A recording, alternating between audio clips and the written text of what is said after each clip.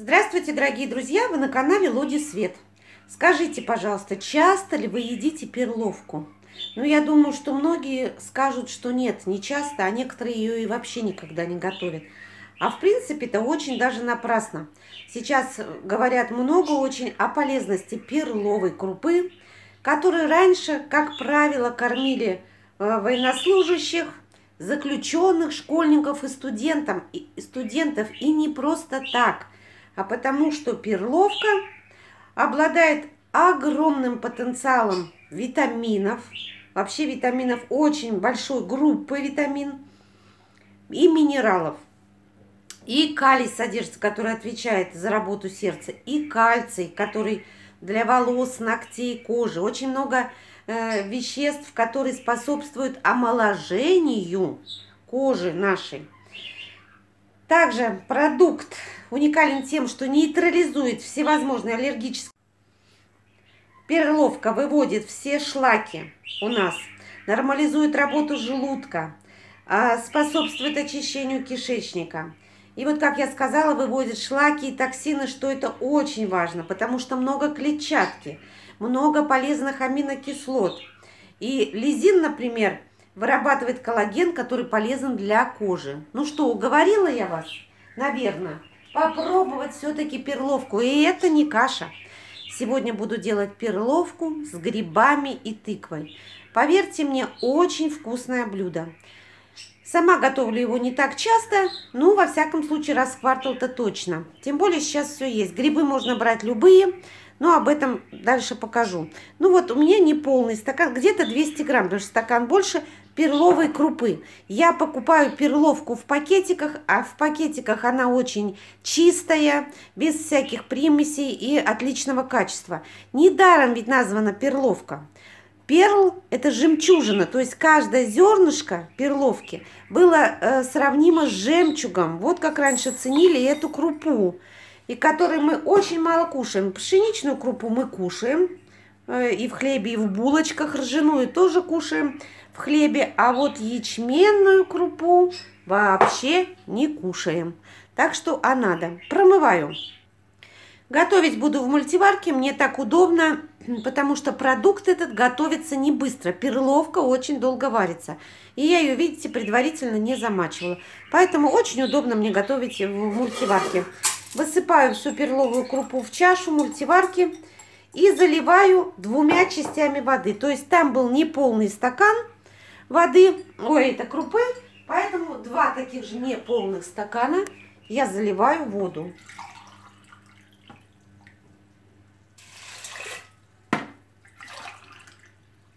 Пока не солю и ничего не делаю, ставлю на режим тушения, это 40 минут. Вот так, перловка и вода. Размешала и 40 минут пусть это варится и тушится. Пока в мультиварке тушится крупа, мы на сковородке, ну вернее я на сковородке, обжариваю одну вот такую среднюю луковицу.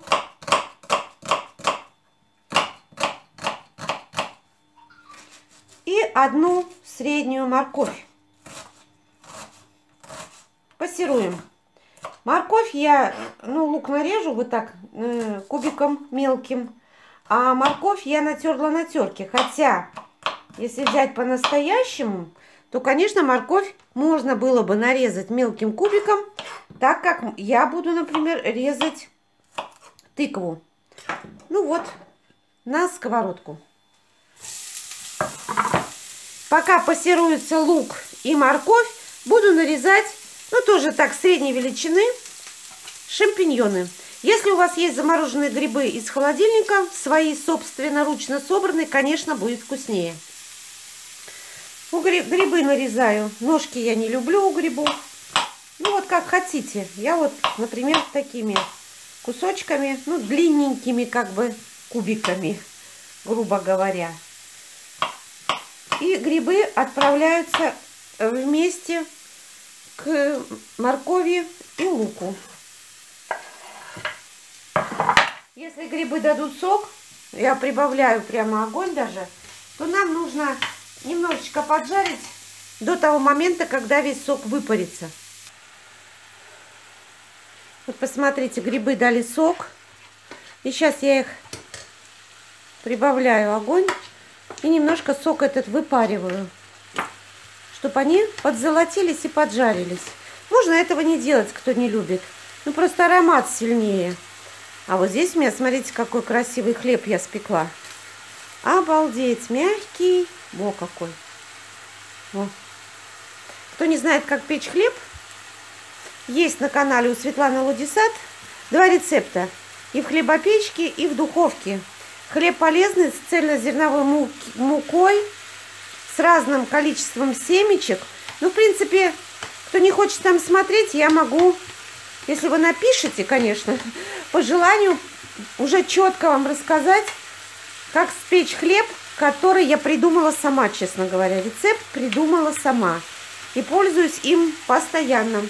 Ну а пока там все жарится, тыкву нарезаю, ну, достаточно таким средним кубиком. Итак, грибы готовы. Вот они прожарились, сок весь вышел. Э, такие румяные, аппетитные и сразу аромат на всю кухню. Вот столько я нарезала тыквы. То есть у меня маленькая совсем тыквочка. Вот смотрите, э, такая. И я взяла, ну, чуть больше половины. Часть ушло на отходы.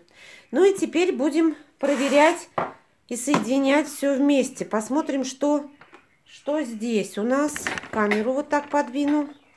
Сейчас вам покажу. Итак, перловка. За 50 минут, посмотрите, ну действительно, выглядит как, как жемчужины. Вот, разварилась. Но она не каши никакой. Не... Если у вас будет э, сильно, она разварится и мало воды, то можно добавить чашечку воды. Как надо такая немножко еще жестковата, но мы ее еще поварим. Теперь нам необходимо посолить. Вот. Да, еще не говорила, грибы, когда я обжаривала, тоже немножко посолила. Сюда перенесу грибы с морковкой и луком. Вкуснота. Соединяем все. Перемешаем. Так, чтобы вам было видно. Немножко добавлю воды. Вот пол чашечки, потому что это еще потушится. И как раз. И сюда тыкву. Все это буду перемешивать. И чуть-чуть, специи любые, какие вы хотите, я добавлю чуть-чуть карри. У меня ее не очень любят, но чуть-чуть. Тогда вот этот золотистый цвет у перловки будет. Также к рису всегда добавляю. Так, надо с этой стороны встать, чтобы было вам видно, как я мешаю. Так, вот такая вкуснота. Очень тыква быстро варится. Но это сейчас где-то еще минуток 10 15 и выключим. Закрываю крышкой на 10-15 минут. Но я поставлю 15 и посмотрю.